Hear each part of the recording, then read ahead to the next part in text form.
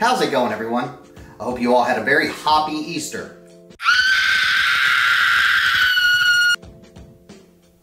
You get it?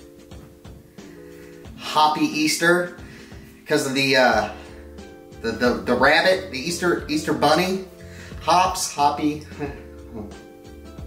Spring is here, and I know a lot of people have been thinking about entering their home into the spring market.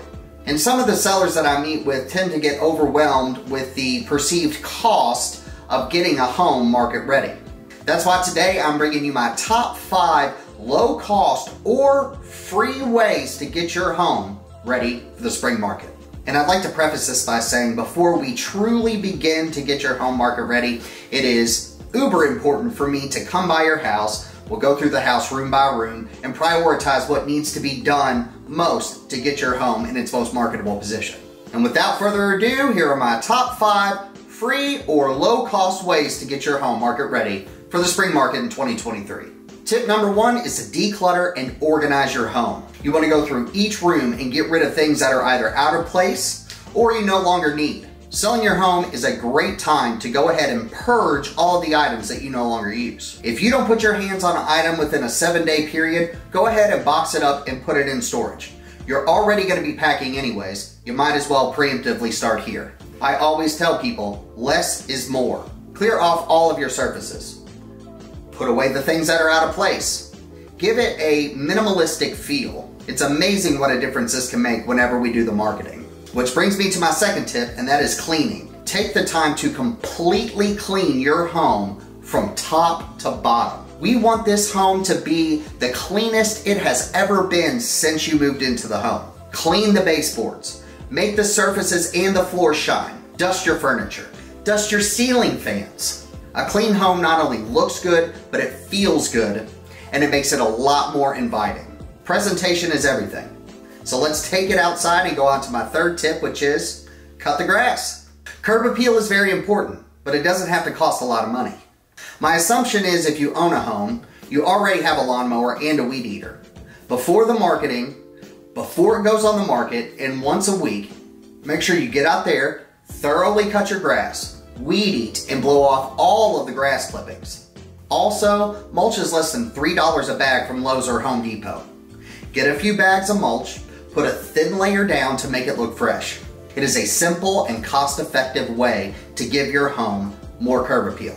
That brings me to my fourth tip, and that is make the home smell nice. I tell all my sellers that we are trying to create an emotional experience. When someone looks in a home, they experience the home, and all five senses are used. Put a couple Glade plugins throughout the home. Light some scented candles. Create an emotional experience for your potential buyers. And that brings me to my fifth and final tip. But there's a caveat with this one. The fifth and final tip deals with repairs of your home. A lot of the sellers that I meet with want to go overboard with repairing every single little imperfection that they have accumulated in the home over the years. The sellers have lived in that home for a while. They know every single nick in the wall or scuff on the floor. And sometimes they can spend more money with more headache doing all of these little repairs when it may not be needed. My experience has been that buyers have blinders. They have tunnel vision. They'll walk into the house and they'll see the pretty colors on the walls or look at the floors or look at the countertops. Very rarely do they see every single little imperfection.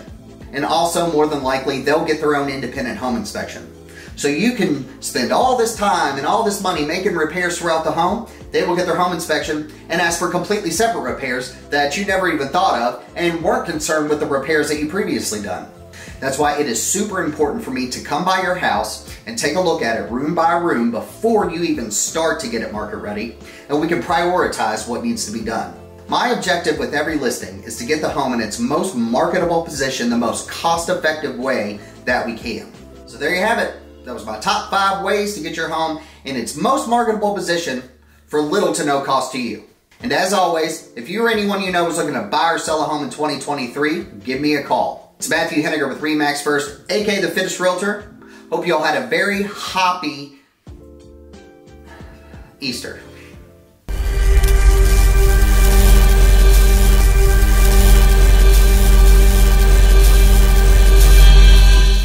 Take the time to thoroughly take the time to thoroughly take the time to thoroughly, ugh,